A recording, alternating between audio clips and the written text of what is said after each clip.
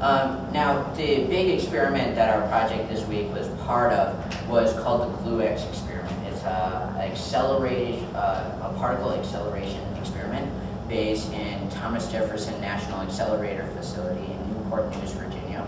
Uh, this facility has the ability to excite the gluon bond between two quarks, as seen here. Here you have the gluon bond because there's a flow of between that particle and this particle, particle over there. The, we can uh, excite that band and measure its frequencies.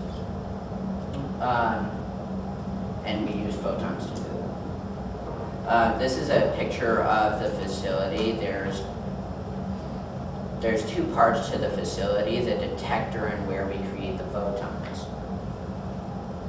This is where we create the photons. I'll explain that in a minute. But the big part is here. Uh, this is the detector. It's a giant superconducting magnet which bends debris from the... It, what we're trying to do is we're trying to take a particle and smash it into something, smash it into a target. And the debris that flies off of that, we can measure things.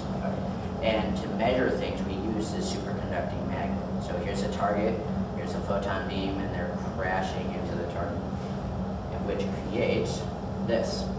Here we have our photon here, and it's running into hydrogen atoms, one proton, uh, a mass of them. We have recoil proton debris that fly away, and out of that it creates a meson, which is a particle with two quarks inside. Uh, the meson then decays through nuclear process, um, and we get a bunch of them, and they each have different vibra- uh, The strong force creates a band, and that band vibrates. We can measure the vibration and find information about that from. Um, now, the part that we primarily worked with this week is the um, diamond wafer area.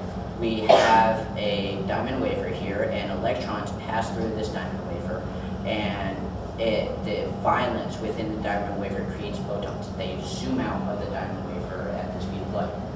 Uh, the, many do this and it creates a beam. And the diamond is also supported by some wires. Uh, as you can see here, this is a this is a idea. This can give you a general idea of the setup. There's a frame, and there's tungsten wires, and there's a glass piece that's being held in place. there's no cube in the experiment. It's just for, you'll find out two more, two more presentations what that is. Um, now the problem that we're trying to solve is uh, when the there's machinery outside of this, there's cooling units and things that vibrate, and then you have the natural earth tremors, and it causes this diamond to go back and forth. It causes it to oscillate. And the problem is, is that we're trying to get a very precise beam and we're not able to do that with uh, it oscillating. As you can see here, there's, um, there's a diamond, and when it's oscillating because of these tremors, these particles are flying off in the wrong directions. We can't control them as we would like to. Um, but the solution to this problem might be, would be that um, we have a diamond and it's oscillating, and because it has a low frequency, it has a high amplitude It's going to a very big degree. There's a big, there's a lot of motion here. There's not a little motion. There's a lot of it. So it's being deflected way off. There's a large angle between this one and this one that's flying away. But the solution might be adding more frequency to it, giving it a higher frequency, thus making it move at a much smaller amplitude and giving a, getting a more precise beam like this than, than this. This is bad this is pretty. Um, and that's, uh, that's it. Anybody, any questions?